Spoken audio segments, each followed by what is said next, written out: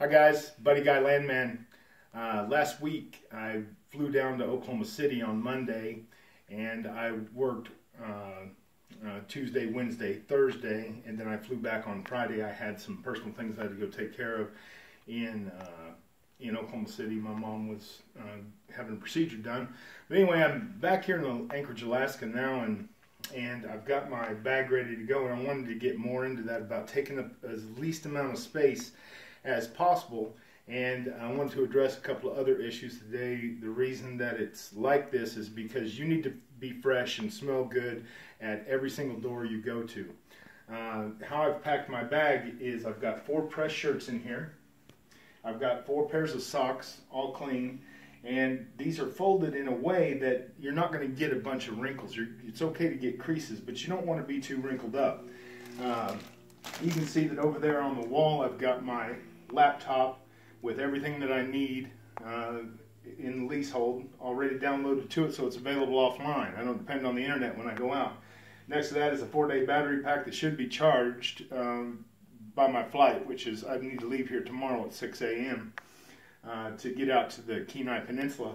And then my smartphone, it's probably already charged. I've got my iPad with my uh, Road Warrior software in there and and uh, the physical addresses of the properties that I need to go buy.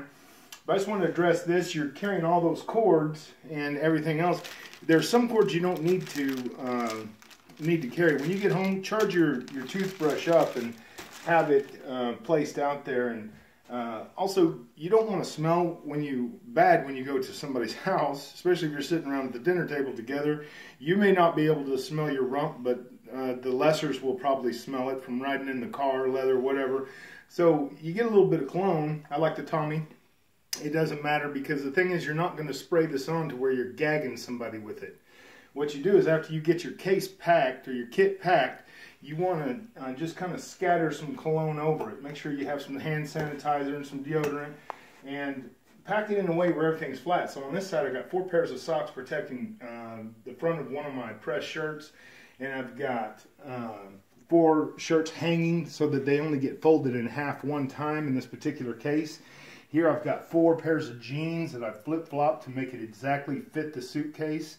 And then here I've got a pair of sweats and I've got those driving underwear that I mentioned in another video. The underwear really do matter. These are Nike, uh, I'm sorry, Knocker, Perry Ellis, Puma, Adidas, and David Archy. But they're all these underwear designed for driving. What I've done is I've taken a pair of thin sweats so that I can take all of these undergarments and I've got it perfectly right there in one grip. It fits inside this plastic bag. I've already measured it out and it's going to be super flat. The reason you want to keep it super flat is to protect your pressed shirts. So in here I've taken only what I need uh, for the next week. And over here I've already shined up my boots. I've cleaned up my hat. I've got my I've got the uh, ass end of my pants here standing up, you know, towards the ceiling, and I've already dusted this with cologne too. You don't want to smell, show up smelling heavy like cologne, but you do want to just smell fresh and clean, and that's what it smells like in this room. It's just really fresh and clean right now. Uh, this time I'm going out there. Uh, in one of my previous videos, I talked about this, but you guys need to find one of these. You can get them through uh, from the county in which you're in. Out here, I got this from the borough. Uh, the Kenai Peninsula Borough, and inside there it has all the subdivisions and the roads that you may or may not be able to see on your uh, Garmin or on Road Warrior. Sometimes the houses just don't line up. The maps are kind of screwy. So once I get this folded in half, everything will just be one crease, and then I've got two pockets on the back, one for signed leases and one for dropping off leases. Come around here, I want to show you something anything you can charge, your toothbrush, you're probably going to need to mow your face uh, sometime during the week. You got five days in there, depending on how fast it grows. Make sure your electric razor is charged, your toothbrush is charged. That eliminates two cords to carry because you got enough. Uh, make sure your camera's charged. You don't have to have a camera on you, but I've seen so many beautiful things out there on the countryside. It's a shame not to cap capture some of them. Uh, then you got your pocket stuff. I've got my jump drive here that goes to Apple products and it goes to PC. I've got the everything it has to do with this leasehold on this 32 gigabyte jump drive, every name, every address, everything that I found. This is the entire Google Drive in my hand offline. And then I've got just phone numbers and names on this jump drive right here. Always carry some, always carry some cards uh, in your pocket. So you can hand them out quick, get your wallet, all your stuff ready to go the night before so that you don't have to fumble with it. Get all of your window mounts, your business cards, your extra phone.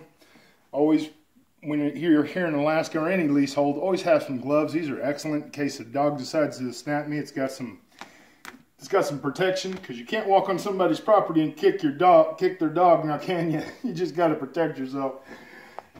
And this is another thing that's that's excellent. Every time you go on a trip, I don't care what you do, what you spend, you get a receipt and you stuff that receipt in a bag where you know it's not going to get lost. Empty your pockets at the end of the night when you get back to the hotel and any receipts in there, get them in here. Get your notepads, get your exhibit, and carry one lease with you at least in your briefcase at all times for that surprise meeting that you have no idea you're bound for. Again, here's my laptop charging, my four day battery pack, my personal six, my, my A number one phone, uh, and my iPad with leasehold, and also my Garmin. Everything's laid out. I know it's all going to be in the bag, so I do a final check. And then over there, I've, uh, I've got my, my clothing for tomorrow, so I don't need to include any of that. You need to think ahead. I'll be gone five days. I've got one full set of clothes with the press shirt right there. And then I've got four press shirts, four new jeans, four new socks, four pairs of underwear, and three undershirts. Because you just never know what, what you might have to do when you're out there. But what I'm what I'm preaching on is don't carry more than you need. Uh, anyway, I'll I'm heading to the uh, point first thing in the morning, and hopefully this time we get to see some wildlife or something or, or whatever. But I'll be uh, I'll be updating you from uh, Anchor Point next, which is on the Kenai Peninsula. That's all I got for today.